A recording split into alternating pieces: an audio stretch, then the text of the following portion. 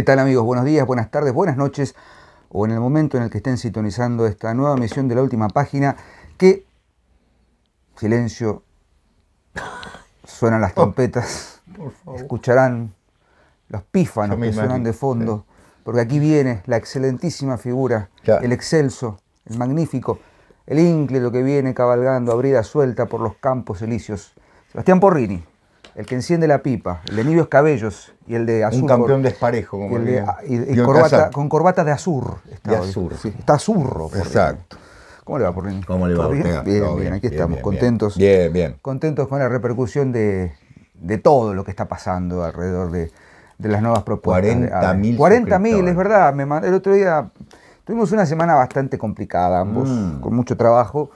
Este, y bueno, ahí andamos. Pero sí, llegamos a 40 40 mil. lo superamos. No ¿eh? vamos a hacer un video específicamente, gracias. ya, está, gracias. Cuando tengamos 50 mil, que creo yo este año, me parece, me parece, que hagan, hagan esfuerzo, ¿eh? que queremos llegar a 50 mil por lo menos y por qué no a 100 mil. Eh. Así tenemos la plaquita de YouTube, ¿viste? Que cuando tenés, ah, sí, a, cuando llegas a 100 mil te dan una plaquita. ¿Una medalla? claro, un cuadrito. ¿La puedo colgar? Sí, bien, te va a pesar un poco, nada. Perfecto, bien. Así que bueno, aquí estamos, ¿cómo están? ¿Todo bien? Vamos a empezar con el programa de hoy, que volvemos un poco a la literatura. Este, si bien, bueno, la semana pasada tuvimos una topadita interesante con Aristóteles y tal, este, hoy vamos a hablar de literatura argentina. Argentina. Hace rato que no hablábamos de literatura Orígenes de la literatura. Orígenes, mm. fundaciones, mm. fundamentos de la literatura argentina. Y bueno, en ese sentido podríamos discutir algunos temas interesantes. Yo veo acá que tenés ahí a un crítico que, se sí, trae. Sí, Pero vamos a hablar del matadero. El Matadero, este texto de difícil catalogación de Esteban Echeverría, y un poquito a partir de él, como, decirlo? como texto canónico, como texto que ha sido leído y, tomado por la crítica especializada como el texto fundante, o digamos, como bien decía Sebastián, ¿no? el surgimiento, el origen de lo que podríamos llamar literatura argentina como tal, ¿no? o por lo menos con una temática o con una con, las bases que empiezan a construirse para lo que luego será la gran literatura argentina. ¿no? Yo siempre digo que hay, que hay que tener algunos eh, reparos al momento de pensar la clasificación de la literatura argentina, porque Argentina como tal, como nación unificada, no existe hasta 1853 con la Constitución. Por supuesto que hay una serie de, de, componendas previas, pero la unificación, lo que podríamos llamar sí, hay quien la llama más allá, 1880. 1880 también. No se declara Buenos Aires capital. Bueno, ahí está, a veces se da todo. Y uno empieza a pensar, digo, bueno, ¿cuáles son los textos que circulan en esa época? Y siempre se habla de la tríada, ¿no? Matadero, Facundo y el Martín Fierro. Sobre el Martín Fierro ya nos y el Facundo hemos hablado, nos faltaba el, Matadero que está ahí eh, en el medio, ¿no? Pensemos que el como es el Facundo es de 1845. Y si bien, y acá viene un dato que seguramente deben conocer, o si no lo conocen lo decimos ahora, el Matadero, escrito por Esteban Echeverría, se calcula que fue escrito entre 1838 y 1840. Hernández, eh, Echeverría muere en 1851 y 20 años después, 20 años después, Juan María, este, Gutiérrez. publica el, el, texto en una revista, creo, no me acuerdo ahora el nombre, este, publica El Matadero. O sea que claramente es un texto que está ahí más cerca del Facundo, del Martín Fierro que del Facundo, en cuanto a su publicación, ¿no? en cuanto a su circulación. Por eso bien decimos, puede ser leído como un texto fundante, en tanto que su, publicación y su entrada en vigencia es a partir de esos años. Independientemente de que haya sido escrito muchos años antes, ¿no? Sí, señor. 1838, 1840. Seba, ¿por dónde querés que empecemos? ¿Querés que hablemos un poquito del, contexto, del argumento? No sí, sé. Sí, vamos. Este, vamos al género. Vamos al género, sí, porque yo anoté varios problemas eh, sobre el. Uno de ellos es el género. Ahí está. Bueno, hay todo un debate. Primero, para los que no conocen el texto, es un texto de 10, 15 páginas, depende de la edición, del tipo de letra que le pongan. Si lo hacen muy apretadito, son unas 10 páginas. O sea, tiene la extensión de un cuento. Pero, ¿qué, qué ocurre? Primero y principal, los debates que se han dado entre los especialistas es que eh, el matadero no responde al canon, a las características notables de un texto breve, ficcional como es el cuento, ya que al menos hay dos historias, al menos hay dos historias. Ustedes saben que el cuento tiene unidad, es decir, se rige por un principio básico que es una sola historia, la historia central. En segundo lugar, las disquisiciones, las digresiones, que no son propias de un cuento. El comienzo, el final del matadero. El comienzo es bastante tedioso, en algún sentido. ¿Qué quiero decir? Que se deja derivar hacia algunas eh, disquisiciones de carácter literario muy de la época, no muy de los románticos de la época, esta idea de que no vamos a seguir a nuestros maestros españoles, todo dicho con ironía, que empiezan la historia por Noé, sino vamos a empezar la historia in media res. Es decir, hay todo una, un elemento de más, si se quiere, en, el matadero. Y en segundo lugar, el final. El final es una reflexión, casi una toma de posición, una, no una, casi es una toma de posición, eh, una opinión política, que después lo vamos a leer, son cuatro renglones nada más, en los que Echeverría directamente, o el narrador directamente, eh, baja línea de una manera política, dándole al texto un carácter de sentido falsamente ficcional y netamente político, sobre la base de lo que llamaríamos más un artículo de costumbres, al estilo de lo que escribió, por ejemplo, don Mariano José de Larra. Y no me asombra que sea así, porque Larra en Argentina, a pesar de ser un escritor de los años 20-30, o sea, absolutamente contemporáneo de Echeverría, ya había sido leído aquí en Argentina, de forma tal que su firma, Fígaro, eh, era la que imitaba a Juan Bautista Alberdi en la revista La Moda firmando Figarillo. Es decir, ya era un autor reconocido en Argentina. Con lo cual, fíjense ustedes la enorme ironía de lo que estoy diciendo, estos señores aborrecían a la cultura española, pero a la vez tomaban a un español como modelo. O sea, hay una contradicción desde el comienzo. Por supuesto, Echeverría, como vino de Francia, había estado cinco años en Francia y había, se había embebido de cierto romanticismo ya decadente, con cierto realismo que empezaba a aparecer, piensen en Balzac, que está en ese momento, él trae esas contradicciones y las vuelca en la joven Argentina que recién ni siquiera se estaba formando, ¿no? bajo el gobierno de Juan Manuel de Rosas, que fue su némesis, digamos, su gran enemigo político, Echeverría no ocupó ningún cargo público, era un intelectual, ¿no es cierto? Por otra parte, no era ni siquiera profesor universitario, nada, era simplemente un intelectual que pensaba por su cuenta, más afecto a los sectores unitarios. La historia argentina, ustedes saben, federales, unitarios, bueno, en ese caso más afecto a los sectores unitarios, más proeuropeos, más este, ligados al concepto de progreso de la época, entonces cuando trae eso, trae algo que es extraño, es decir, una, especie de formación francesa, que si bien la, literatura argentina y la cultura argentina tenía ya una atracción hacia lo francés, no era tan marcado. Los escritores este, argentinos hasta el momento no estaban tan marcados por la cultura francesa, sino más bien por la española. O sea que es una ruptura, en muchos sentidos. Por lo tanto, el debate del género. Hay muchísimo escrito sobre el tema, ¿sí? Muchísimo. Eh, pero todos coinciden en que, eh, bueno, hay quien decididamente dice, bueno, pero hay que considerarlo un cuento, y otros que dicen, no, en realidad es un texto muy original en ese sentido. Mm, parece más un análisis de la realidad, un estudio social, ¿no? Con algo de ficción, por decirlo de una manera, con un lenguaje que...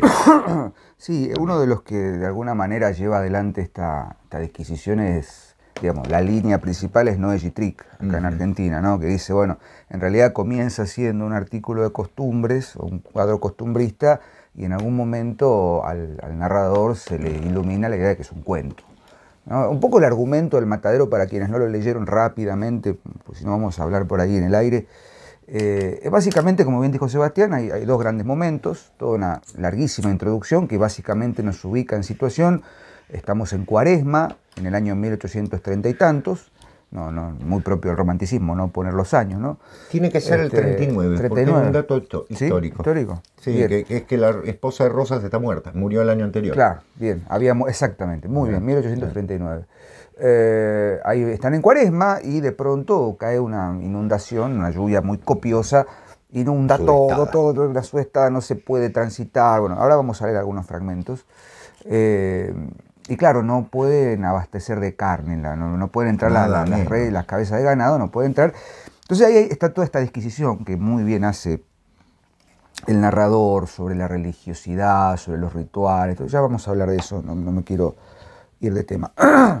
Cuestión que logran, merced a ciertos permisos, ¿no? logran meter 50, 50 vacas al matadero de la convalecencia, que es el lugar, digamos, que da título al, al, al texto, pero entre esas vacas empiezan a, faenar las vacas, empiezan a repartir la carne. Hay todo un episodio muy grotesco, muy, muy, este, muy, ¿qué digamos, muy pintoresco, ¿no?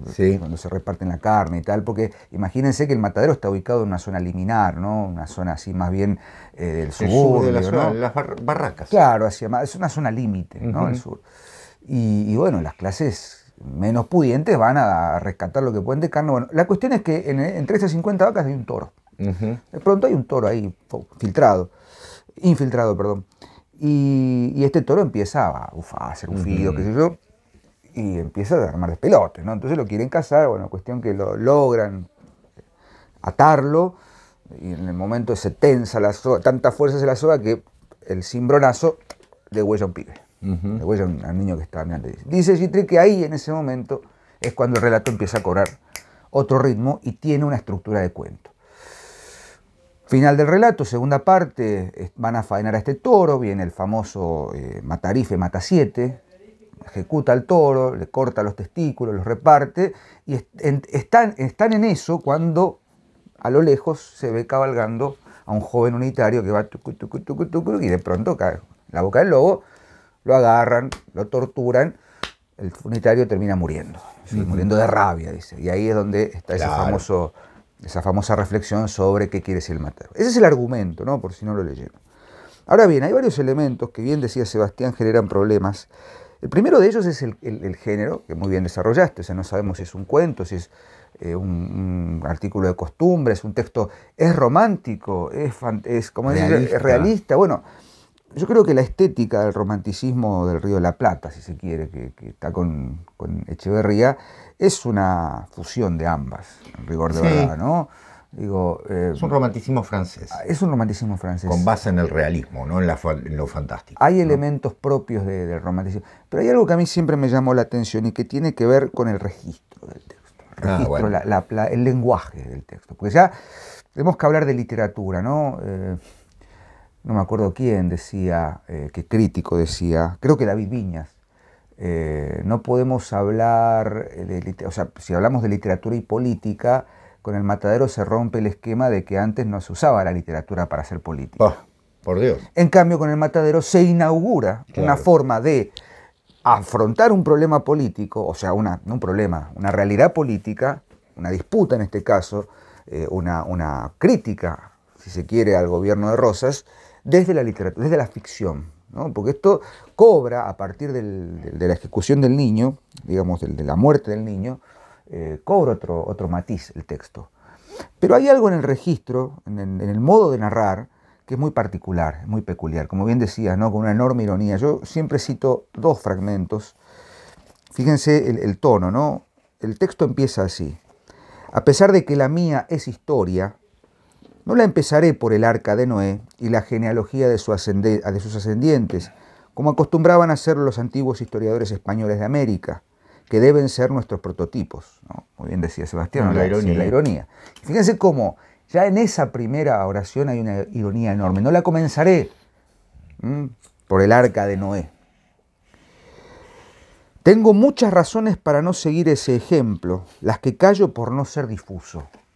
Recuerden, ¿no? No voy a empezar por el arca de Noé, o sea, por el diluvio. No voy a ser difuso. Y no quiero difuso al máximo. Eh, y dice, diré solamente que los sucesos de mi narración pasaban por los años de Cristo 1830 y ya es difuso ahí. Estábamos a más, en cuaresma, época en que escasea la carne en Buenos Aires, porque la iglesia, adoptando el precepto de Epicteto, sustine, abstine, sufre y abstente. Substine, abstine. Ah, claro, acá está mal, mal escrito. Abstine Ordena vigilia y abstinencia a los estómagos de los fieles a causa de que la carne es pecaminosa y, como dice el proverbio, busca a la carne. Y como la iglesia tiene a Vinicio y por delegación directa de Dios, perdón, el imperio inmaterial sobre las conciencias y los estómagos, que en manera alguna pertenecen al individuo, mm. nada más justo y racional que, lo vede, que vede lo malo. Tiene una enorme ironía que ya tomando como precepto lo que dice la iglesia, lo, o sea, podemos trasladarlo a lo que era Rosas. ¿no? O sea, Rosas es ese substine abstine, ¿no? Claro. Rosas es el gobernador de la provincia de Buenos Aires que en ese momento tenía un poder absoluto eh, y de carácter federal y que era el gran opositor ¿no? de Echeverría. Echeverría era un opositor a Rosa, mejor dicho. El texto es un texto político, un panfleto político. Luego viene un párrafo que explica, dice, los abastecedores, por otra parte, buenos federales, y por lo mismo buenos católicos, sabiendo que el pueblo de Buenos Aires atesora una, una docilidad singular para someterse a toda especie de mandamiento, solo traen en días cuaresmales al matadero los novillos necesarios para el sustento de los niños y los enfermos dispensados de la abstinencia por la bula y no con el ánimo de que se harten algunos cerejotes que no faltan, dispuestos siempre a violar los mandamientos carnificinos de la Iglesia y a contaminar la sociedad con el mal ejemplo. Fíjense que decíamos anteriormente, no dice, no la voy a comenzar por el, arca de Noé. Sucedió pues, y ni lo tempore, en aquel tiempo, una lluvia muy copiosa. ¿no? Ahí los caminos se anegaron, los pantanos se pusieron a nado y las calles de entrada y salida, bueno, ya empieza todo el relato. Totalmente. Cómo, de la inundación. y, los problemas con la abstinencia, ¿no? Bueno, hay episodios que son... Yo quiero destacar estos ridículos, ridículos este, humorísticos. Eh, sí, con cierto doble sentido. Con flatulencias en la iglesia. Exactamente. Que, dejan pensar mejor en, revoluciones, ¿no? Dice. Sí, sí. sí. Claro.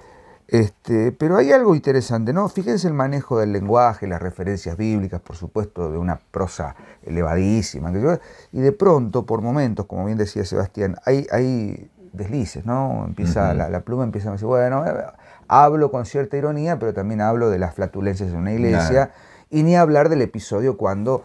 Eh, el episodio en el que están faenando la carne y se reparten y se llevan ah, el lenguaje soez, procas, este, propio de la, del, digamos, del vulgo, si se quiere, de las clases bajas que, van a buscar el, alimento allí. O sea, puede pasar de un registro a otro. Y esto se potencia de manera casi in extremis en el final. Claro. El final es un duelo no solamente de voluntades y de, colores políticos, sino también es un duelo verbal que para mí está este, incluso artificialmente escrito. Más allá de que, de que que ya es un artificio la obra. Digo, el, unitario está construido con una artificiosidad exageradísima. De modo tal que uno puede decir, bueno, era en cierto punto, si bien era más afecto a los unitarios, también pone el, énfasis en que tampoco los, todos los unitarios estaban entendiendo cuál era la causa real. Sin lugar a dudas, porque el texto tiene, a ver, primero los personajes. Ninguno tiene nombre con excepción de Mata 7. Mm, que es un apodo encima. Es un apodo de, uno de los carniceros, que es el que piala al... Ese, no me salía ese verbo. Que piala al, toro y que logra luego clavarle el cuchillo y sacrificarlo. Ese primer sacrificio deriva en que después Mata 7 sea el que al ver el unitario todos lo, lo picanean en algún sentido para que salga a enfrentarlo el muchacho va a caballo totalmente distraído y él sale y lo pecha con el caballo y lo tira del caballo y lo agarra de la corbata ¿no? y lo tiene con una con la rodilla apretada sobre el pecho y todos le dicen que le toque la resfalosa. La resfalosa es una canción popular que se decía que se empezaba en las cuerdas de la guitarra y se terminaba en las cuerdas de la garganta, le cortaban la garganta. Pero ahí aparece otro personaje arquetípico, el juez, que es el jefe del matadero, quien decide, da la orden de llevarlo a la casilla, otro símbolo, a la casilla del matadero para interrogarlo, en principio para interrogarlo, y al, fin, en realidad la idea es burlarse de él y vejarlo. vejarlo ¿no? La vejación es un término fundamental del texto. Entonces ustedes me dirán, no hay personajes con nombre, no, no, es el joven unitario, es Matacite, que es un apodo, como bien decía Diego, el juez, los carniceros, que pasan a ser, acá me permite una visión personal, pero pasan a ser arquetípicos, o pasan a ser, mejor dicho, modélicos, ¿no? Eh, son casi modelos. actúan, o sea, ¿cómo tienen que actuar? Brutalmente en un caso, hablan brutalmente, son absolutamente desagradables, ¿no? Pero tienen que serlo, ¿no? Como si estuviésemos hablando de personajes que no tienen matices de ninguna manera. Paradigmáticos, tal vez. Paradigmáticos. Yo destaco al juez, que no obstante ello hay un gesto al final que siempre me ha llamado la atención, que eso también revela algo, vamos a llegar, que el juez es el único que habla bien. Mm. Y el joven unitario que tiene un registro lingüístico absolutamente artificial. Sayones, infames sayones. Infames, ¿no? Parece un texto declamatorio de un himno, ¿no es cierto? Una cosa horrorosa, frente al habla popular, al habla absolutamente soez en un momento, ¿no? De, de los carniceros, del pueblo y demás. Dos cosas para sacar de allí. La primera, Echeverría está a favor del joven unitario, sin lugar a dudas, y es hasta su retrato se parece a él. Mm. ¿sí? La descripción que hace es el retrato casi de Echeverría. Pero fíjense que consciente o inconscientemente, Echeverría deja ver esto, los unitarios están lejos de la realidad. Es decir, los unitarios, al querer construir un país a la europea, al querer construir un país sobre un modelo extraño que no tiene su base en la tradición hispánica y fundamentalmente en la tradición posterior del caudillaje, resultan inviables. Es un pueblo que se mueve con otras reglas, o sea, es un producto importado que ha sido puesto de esa manera entre 1820 y 1827 gobernaron el país los unitarios, no hicieron algo muy diferente de los federales, también persiguieron a los federales. No estoy haciendo una alabanza a los federales, sé que tampoco eran santos en todo sentido, pero hay que decir la verdad, popularmente era lo federal lo que enraizaba. Los unitarios parecían ser una especie de alquimia política surgida de ciertos ámbitos cerrados, como el Colegio de Ciencias Morales, hoy Colegio Nacional de Buenos Aires, de allí surgió una tendencia extraña, ¿no? Extraña en ese sentido, viniendo desde afuera, copiando al jacobinismo francés, creyendo que aquí se podía hacer la Revolución Francesa en el mismo sentido. Como la Revolución de Mayo o los hechos de Mayo no fueron en el mismo tenor, lo pintaron con el mismo tenor. ¿sí? Y entonces hay un enfrentamiento de mundos, de cosmovisiones, dos cosmovisiones que se enfrentan de manera clara, una que es extraña y otra que es la telúrica, por decirlo de una manera.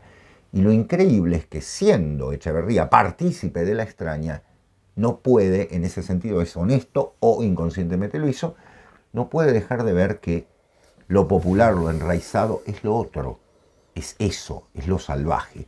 Es una literatura que nace en la violencia. Nuestra literatura nace eh, David Viñas dice, nace con una violación. Bueno, es este texto al que se refiere, porque en la escena final hay un principio de violación. Sí, explícitamente. Lo, están desnudando. desnudando y, dice, lo, cito literalmente, dice, a nalga pelada, denle verga y puñal. Claro. O sea, látigo. látigo, ¿no? Pero bueno, o sea, ¿por qué lo desnudan? Porque la, la vejación, aparte, eh, es casi un sacrificio, este, lo bueno, van a crucificar. Ahí vamos a ir. claro es interesante lo que decía Sebastián, porque ahora lo, estoy releyendo. El juez, ¿no? Eh, para que vean el tono, ¿no? El joven, en efecto, ya lo, tienen ahí en la casilla, ¿no? El joven, en efecto, estaba fuera de sí de cólera. Todo su cuerpo parecía estar en convulsión, ¿no? Como en pellones. claro. Este, su cuello desnudo y la pechera de su camisa dejaban entrever el latido violento de sus arterias y la respiración anhelante de sus pulmones. ¿Tiemblas? Le, dice, le dijo el juez. De rabia, porque no puedo sofocarte entre mis brazos, le contesta el unitario. ¿Tendría fuerza y valor para eso? Tengo de sobra voluntad y coraje para ti, infame. O sea, ah. el tipo del juez le está diciendo, a ver, muchacho, ¿qué, haces acá? ¿Qué, haces acá? Salamín. O sea, ¿qué venís? Mm. ¿No te das cuenta que te vamos a, Dice, tengo a ver las tijeras de tuzar mi caballo, túsenlo a las veras. Tuzar quiere decir este, afeitar. afeitar. Cortarle esta Dos parte hombres, para claro, las patillas. claro, porque los unitarios tenían eh, una, una Barbanú. Barbanú, ¿no? de hecho Echeverría, ¿no? Sí. a, lo Ibsen. Eh, dos hombres le asieron uno de la ligadura del brazo, otro de la Acá. cabeza, y en un minuto cortáronle la patilla que poblaba toda su barba por bajo, con risa estrepitosa de, unos, de sus espectadores. A ver, dijo el juez, un vaso de agua para que se refresque. El juez tiene un grado de, Ah, sí. de humanidad, Ahí- ¿no? Y el otro, ¿dónde está? Uno de hiel te daría yo a beber, infame, ¿no? Como No. Todo, ¿viste? Apagando el fuego con nada. Parece una ópera. No, aparte parece una ópera de mala calidad. ¿viste? Sí, Sos sí. un boludo. No sé, che, acá no, está, rascá de acá, pibe, Claro, ¿viste? Bueno, cuestión que ahí Si no se hubiese ido de boca, por ahí hubiesen dicho, bueno, ya está. le Bueno, dos- dice, ¿por qué no traes divisa? No sé, no sabes que lo manda el restaurador. Porque lo no llevo que- por la patria. Claro. La librea es para vosotros, esclavos, no para los hombres libres, ¿no? Claro. cosa así, faltaba que... que Claro. a- no, Melinkowski, ¿no? Ah, Entonces dice, a los, a los libres se les hace llevar a la fuerza. Sí, a la fuerza y la violación bestial. Esas son vuestras armas infames. El lobo, el tigre, la pantera, también son fuertes como vosotros. Deberíais andar como ellos en cuatro patas. Tema importantísimo también, la animalización. sí. ¿no? Bueno, vienen de matar un toro. Perros unitarios, Claro. eh, eh, como buitres, ¿no? Le caían como buitres. Exacto. Él le dice son como pantera. Como... Bueno, Facundo Quiroga era el tigre de los llanos. el tigre de los llanos. Este, Sí, señor. Yo soy toro en mi rodeo, torazo en, en rodeo ajeno, ¿no? Eh, torazo algo así dice Sí, Martín torazo en rodeo ajeno. Digo, toda la cuestión asociada con la bestialidad. Pero ahí hay que diferenciar, ¿no? Una cosa es la bestialidad del toro brioso, ¿no? La potencia, Exacto. el vigor, y otra cosa es el, el- no sé, el perro, el perro, Claro. el perro achacoso. De hecho, porción de perros achacosos se disputaba en el caracú, creo que dice un momento, el, el- el- el bof, el mondongo, no sé. Hay toda una cuestión ahí, no solo con lo animal, sino también con ciertos elementos propios de la ritualidad, el barro y el agua, la sangre. Digo, la sangre y la violencia están presentes en todo el texto. eh, la, la sangre que brota del cuello del, del Sí. niño degollado y la sangre que sale a borbotones de la, de la boca y de la nariz del unitario. El agua que corre, ¿no? los pantanos se cruzaban a nado, o sea que ya era terrible, o sea, cómo viene ese aluvión de agua. Y el barro, lo que queda después de la inundación, ¿no? la sangre seca, el charco de sangre, ¿no? los, los cuajos, eh, la sangre cuajada, ¿no? de ahí de, las, vacas faenadas, digo, todo es una, todo es un clima este, Desagradable. desagradable, grotesco. Exactamente. Y eso está expresado no solamente en, en la descripción, como un cuadro de costumbres, pintoresca, sino también en el tono, en el tono del relato. Justamente. Bueno, como se ha hecho un análisis ya canónico del, matadero que indica que cada una de esas partes es alegóricamente, cada uno de esos símbolos, mejor dicho símbolos, cada una de esas alegorías representa algo. El matadero, el país, la casilla, la provincia de Buenos Aires, el juez Rosas, el joven unitario, la generación del 37, Mata 7, la mazorca, ¿no? Ese tipo de análisis. Es interesante ver también, que no está mal, porque Echeverría tiene esa intención alegórica, quiere que digamos este es este, que al juez, como bien decía Diego, lo marca de una manera diferente y a mí me gusta lo que dice al final. Primero que, primero que el juez le ha hablado en el mismo tono. O sea, no lo ha, no lo ha tratado mal, es una persona educada, ¿no? Obviamente está ejerciendo su poder y demás, ¿no? Pero dice, verificaron la orden, echaron llave a la puerta y en un momento se escurrió la chusma, escurrió, ¿ven? Como si fuera un, como si fuera un torrente, en pos del caballo del juez y acá viene, cabizbajo y taciturno. El juez es consciente de lo que pasó. O sea, es una persona, no está marcado como un bruto, no es los otros. ¿No es cierto? No, es, no son estos que eh, salieron a chusma, ¿no? Ah, lo matamos, qué sé yo, reventó, reventó el unitario, dicen en un momento, ¿no? Sino el juez sale taciturno. Es la imagen, justamente, del gobernante que gobierna con esas personas, que sabe de esas reglas, pero que a la vez sabe que lo que se cometió es, una, es un error. Es un error. No, quería, no queríamos hacerlo, dice en un momento previo a esto, dice exactamente, pobre diablo, dice el juez, ¿no? Queríamos únicamente divertirnos con él. Y tomó la cosa demasiado en serio, exclamó el juez frunciendo el ceño de tigre. Ahí está.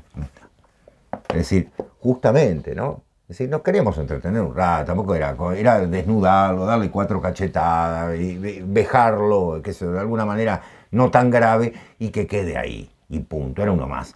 Y la reacción del unitario hace que muera, ¿no? Sufre como un síncope, por lo cual se les va de las manos, por decirlo de alguna manera. Esa violencia originaria es la marca que el juez tampoco puede admitir, por eso se va taciturno. Porque valga decir que Echeverría sabía, como sabían los, los unitarios, o por lo menos la generación del 37, que Rosas, que era un hombre que usaba todos esos métodos, no era como esos métodos, no era él. Era un hombre muy culto, Rosas. Un hombre que hablaba perfecto inglés, ¿sí? O sea, en un Buenos Aires que era un, Era un, ¿cómo decir? Un villorrio, ¿no? Era un hombre de, costumbres refinadas. De hecho, Alberdi, que se encuentra con Rosas 20 años después, en el exilio, dice era un caballero. Y sí, que no, era un bruto. ¿no? Sí sabía moverse entre la simpleza de, los hombres de la época. ¿no? De hecho, era un caudillo. Era el que podía perfectamente meterse en un carnaval y jugar con, el pueblo a esa cosa, o, domar un caballo, porque tenía artes en todo sentido, como sentarse con el embajador de Francia o el cónsul de Inglaterra y hablar en su lengua. Era un hombre perfectamente preparado. Entonces, ese doble sentido del juez está, ¿no? Es lo que más marca hacia, hacia Rosas esa alegoría, ¿no? Fundamentalmente. Y algo para, para remarcar. Yo estaba leyendo, hay dos textos que quiero nombrar. Uno es uno de Hugo Francisco Bausa, que analiza el matadero como un sacrificio. Bien, ustedes saben que Bausa tiene un libro muy importante sobre el, sobre el héroe, que es la, morfología del héroe, que eh, analiza un poco los héroes desde la tradición hasta nuestros días y demás. Pero tiene un texto no muy extenso sobre el matadero de Echeverría, que es muy interesante, donde lo relaciona con un ritual de sacrificio. Y hay marcas, no cabe ninguna duda, no cabe ninguna duda. O sea, es la víctima propiciatoria para, primero es el toro, que va a hacer la preparación, o sea, el primer acto de la tragedia, ¿no? El animal que es sacrificado, que no debe ser sacrificado porque los toros no se pueden sacrificar, ¿no es cierto? Son animales de reproducción y fundamentalmente no se, no se deben consumir. La carne se la considera, primero que es dura y demás, y segundo que no se debe consumir, pues en esa época había una prohibición en torno de estos animales. No debían llegar al matadero. Ustedes saben que un toro es un peligro soberano. De hecho, cuando se escapa está todo el relato y demás. Que hay una burla a los ingleses, ¿no? Hay un inglés a caballo que se cae al barro, bueno, se ríen. Pero eso es la sangre derramada que los enrojece, que después en el cuento de Horacio Quiroga está también hecho, ¿no? en la gallina degollada, el rojo de eso motiva, ¿no? motiva a estos hombres a una sed de sangre. No está completo el, ah. sacrificio. Entonces salen a, buscar una segunda víctima, una casa, claro. Salen, a salen, exacto, a cazar a, un, a una pobre víctima. Eh, tiene una serie de elementos del relato sacrificial. De hecho, los cuchillos llenos de sangre, la sangre volcada en la, en la, en la tierra, ¿no? se embebe, quedan los cuajarones, como decía Diego todo eso, ¿no? La sangre del chico que cortó la soga del pial con el que estaba atado, con el que habían querido atar al toro, ¿no? que terminan este, cortándole el garrón para que caiga el animal. Y hay algo que Echeverría remarca, hay un, hay un término que remarca muy notablemente que es soberbio. Mm. El toro es soberbio, es un animal bellísimo, ¿no? dice, de corta y ancha cerviz, es decir, es un animal que está, está en un ámbito que no tiene que estar. Es un animal de admiración y está allí siendo sacrificado. de la simetría con el unitario, ¿no? Que, con el unitario. Que, no es el soberbio. No, pero viene pero esa... Aparte viene en silla inglesa. Claro, con lleva pistoleras. Como... Claro, para pintar, ¿no? claro. Dice, el otro texto es el de Carlos Gamerro, El nacimiento de la literatura argentina, que dice, a diferencia de la cautiva, bueno, ahora vamos donde todos, el poeta, los indios, el caudillo gaucho y su china hablan como si hubieran pasado la tarde leyendo a Lamartine, es verdad. En el matadero hay tres voces claramente diferenciadas. La voz en primera persona del narrador, irónica, ácida y que no renuncia a la inteligencia aún en los momentos de mayor indignación. El habla criolla baja de los matarifes, negras saturadoras y pícaros, que aunque hablan de tú, lo hacen con una sintaxis y léxico que sugiere y en la memoria tiende a convertirse en el voz, y el lenguaje engolado y artificioso del joven unitario. ¿no? Porque aquí hay, una marca notable. El Matadero es el primer texto, de, al menos de Echeverría, y uno diría de cierta literatura, me atrevo a decir que el Facundo también, sin, ¿cómo decirlo? Sin eufemismos. Ajá. ¿no? Es decir, es un texto crudo, un texto absolutamente crudo, en el que justamente eh, Echeverría no escribe como ese horrible poema que es La cautiva. Oh. Es un texto espantoso. A mí me lo hicieron aprender de memoria. Era la tarde y la hora en, que el sol, la crestadora de los Andes. Un espanto. ¿no? El Lugones lo destroza cuando en el payador lo analiza. Es un texto ripioso, eh, horrible, en el que el personaje se llama Brian. ¿no? Brian, una cosa totalmente tirada de los pelos, en el medio de la pampa, ¿no? Es cierto lo que dice Gamerro, ¿no? Que parece que se pasaron la tarde leyendo. la Martín. Claro, que leyeron este, ¿cómo se llama? La histoire de Girondins, ¿no? Una cosa que parece totalmente tomada sí, Sí, totalmente artificial. Totalmente artificial. Y dice, puede también haber en esta vejación lingüística cierta autohumillación retrospectiva del autor, porque en las palabras del joven unitario reconocemos a esta altura con cierta ternura los acentos y los énfasis del lenguaje de la cautiva. Pero la sensación de familiaridad pronto cede paso a una comprobación asombrosa. Si el lenguaje del unitario en el matadero es el lenguaje de Echeverría en la cautiva, el lenguaje de Echeverría en el matadero no es el de Echeverría en la cautiva. Está perfecto. Es decir, parece un retrueca, ¿no? Pero es, muy, es muy bueno esto. Es decir, el unitario habla como hablan los personajes de la cautiva. O sea, como si estuvieran en una telenovela espantosa, horrible, frente, claro, engolada, frente a todos los demás que hablan en el lenguaje realmente popular y en el lenguaje llano oculto. Culto también, sí, ¿por qué no? Culto de Buenos Aires, pero que no es el de estos infames sayones. ¿Quién? Digo, aparte hay que, hay, que, diferenciar también los niveles narrativos, porque bien dice Gamerro, ¿no? Sé de, la, sé de tres voces, ¿no? La voz propia del narrador, que es correcta, con, ese, esa ironía, ¿no? Sí, totalmente. La del pueblo. Este, la del pueblo y la del unitario. El unitario. son tres formas de entender también. Y creo que también ahí, me parece, hipotetizo largamente y con cierto grado de, de, posibles fallas, ahí también está sostenida la, toda la literatura argentina que, vendrá después. Bueno. ¿no? Me parece que está muy bien pensado como vos dijiste, de los orígenes. Sí, sí, Y ahí está el, La literatura argentina eh, nace desde la violencia. Yo coincido con lo que dice David. Los grandes textos de la literatura. Están ligados a una violencia infinita. Y la misma estructura se va a dar, por ejemplo, yo me atrevo a decirlo en tres cuentos. Uno de Borges, La fiesta del monstruo, ¿no es cierto? Texto espantoso, mm. realmente. La fiesta del monstruo es un texto menor de Borges, en el que es claro, clara la alusión al matadero, en ese caso bajo el peronismo, ¿no es cierto?, con un joven judío, ¿no? que tiene lentes, que lleva libros, que es decir, hay toda una, una fijación en torno a ese maltrato y demás.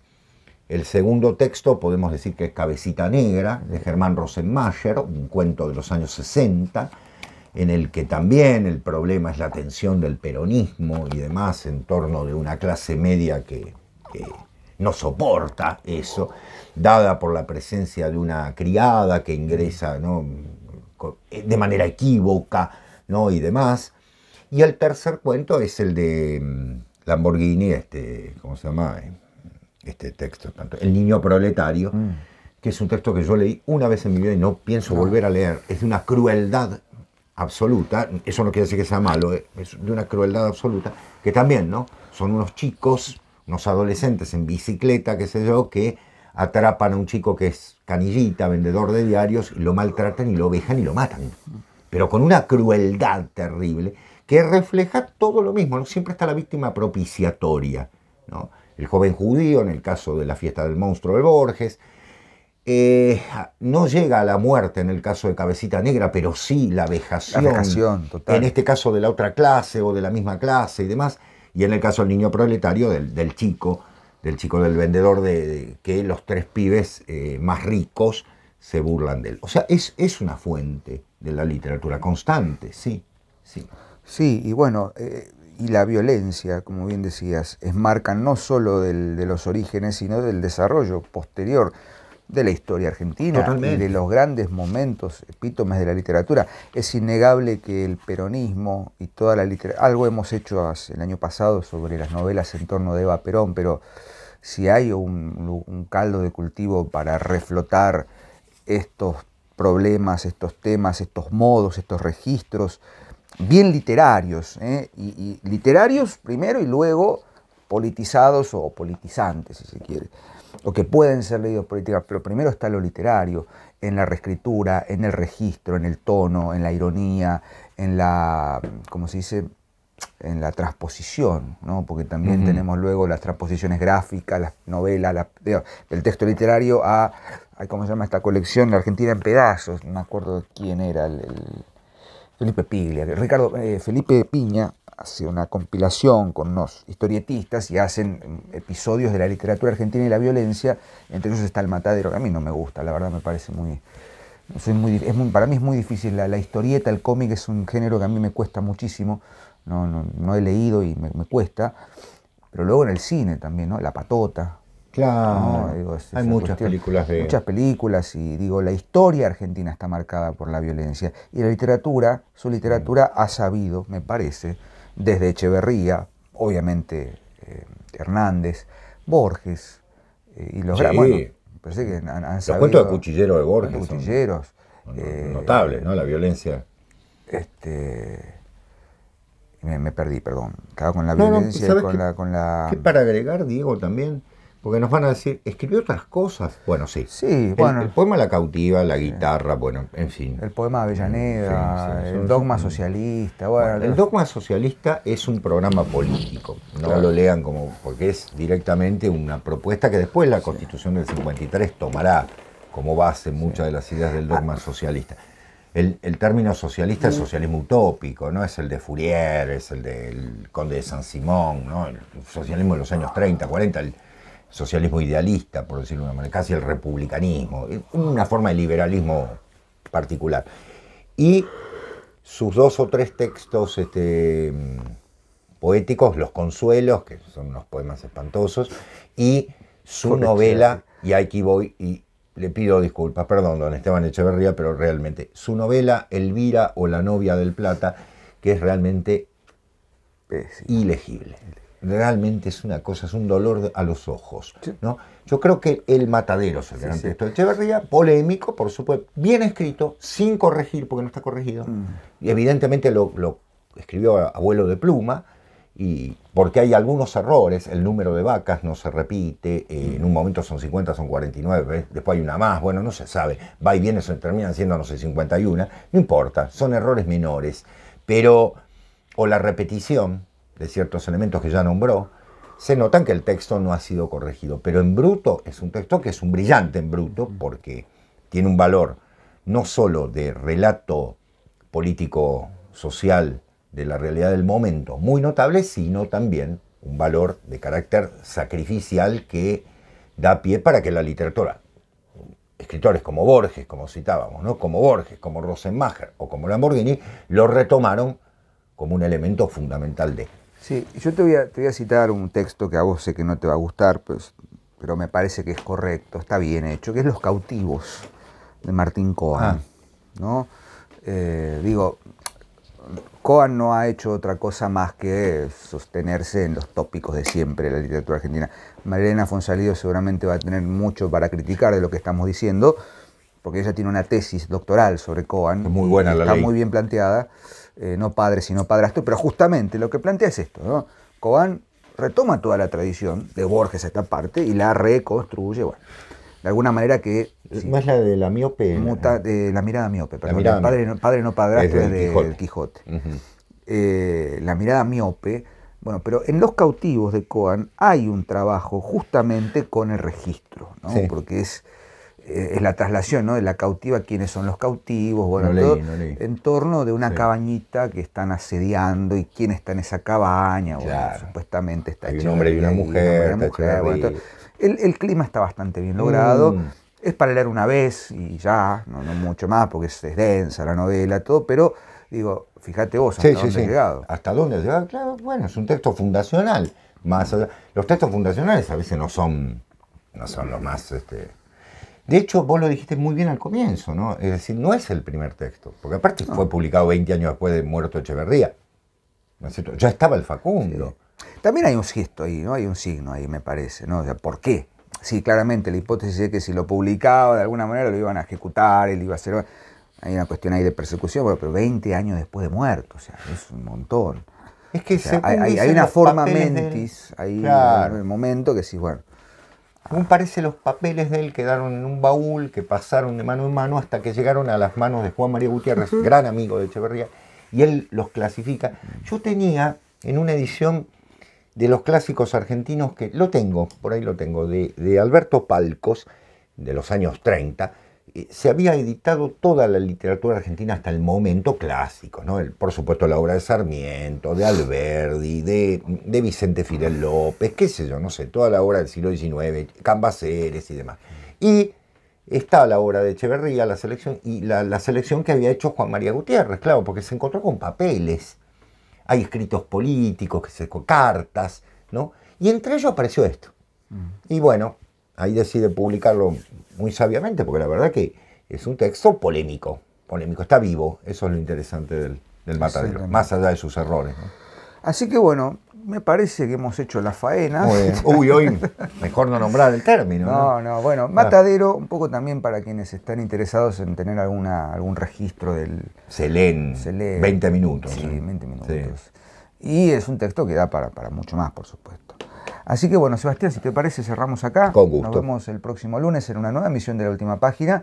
Y como siempre, en algún momento del canal, siempre hay alguna entrevista, algún recreo, algún. Gracias, Sebastián. Un Gracias. placer. Y nos vemos. Que tengan buena semana. Chao. Adiós. Gracias.